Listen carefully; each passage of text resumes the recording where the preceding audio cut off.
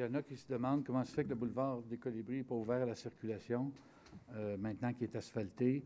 Euh, le problème, c'est qu'il y a une défaillance au niveau de l'alimentation électrique.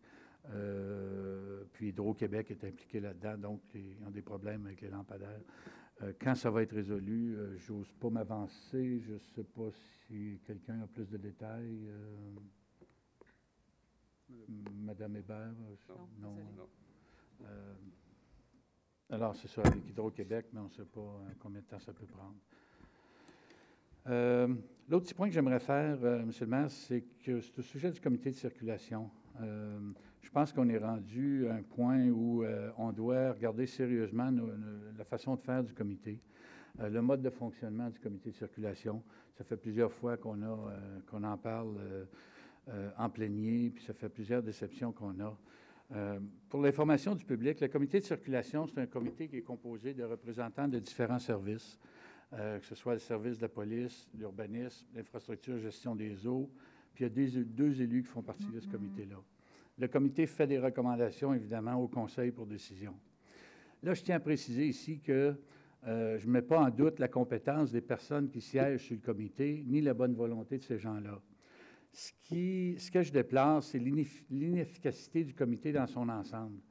Euh, vous connaissez le vieil adage euh, un chameau est un cheval dessiné par un comité.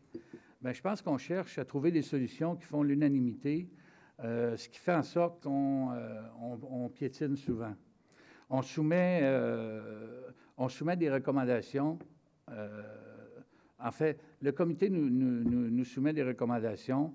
On reçoit le procès verbal à peu près un mois après la rencontre pour apprendre souvent que le comité recommande le maintien du statu quo ou encore qu'un dossier est soumis à un service en particulier pour plus, plus, grande analyse, pour, une analyse plus approfondie, ou encore pour recueillir des statistiques.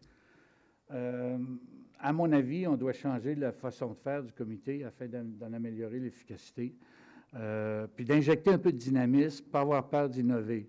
Euh, peut-être la solution, c'est de, solliciter les, commentaires des différents services euh, qui sont impliqués, mais en bout de ligne, il faut qu'une personne responsable s'assoie puis prendre une décision, euh, analyser les risques et puis prendre une décision. je vais vous donner quelques exemples. J'ai demandé qu'on identifie les moyens d'action afin de forcer les, automobilistes à respecter les limites de vitesse sur Bayarjon, puis d'augmenter la sécurité des piétons. Puis, euh, je me rends compte au cours des dernières années là, que je dois me battre euh, constamment pour mettre des mesures en place une à une, que ce soit rajouter un stop au coin de telle intersection, faire peinturer des, 50 km/h sur le. Merde, il faut, faut pas. Ça prend une stratégie globale, puis mettre en œuvre euh, des moyens d'action pour améliorer la situation. Je trouve ça frustrant d'être obligé tout le temps de revenir, euh, euh, euh, d'insister pour que des mesures soient mises en place à la pièce. J'ai fait des suggestions aussi pour améliorer les traverses piétonnières, en particulier certains endroits dangereux, dont la courbe à l'intersection des rues Bayarjon et Sainte-Thérèse, à l'entrée sud de l'île Sainte-Thérèse. J'ai soumis des idées pour essayer de sortir de notre carcan traditionnel puis essayer d'innover.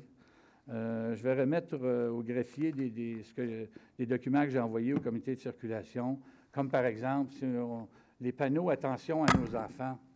Il me semble que si on avait des, panneaux euh, qui attiraient l'attention l'attention des automobilistes, qui viennent, qui viennent nous chercher, comme, comme cet exemple-là, ou encore des indications pour des traverses piétonnières, il y, a, il y a plein de choses qu'on peut mettre en œuvre, puis qui pourrait améliorer la situation.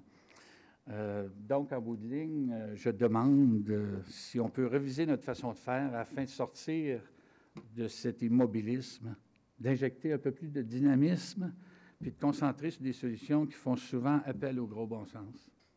Je pense qu'on est, on est rendu au point où on doit améliorer l'efficacité de ce comité-là.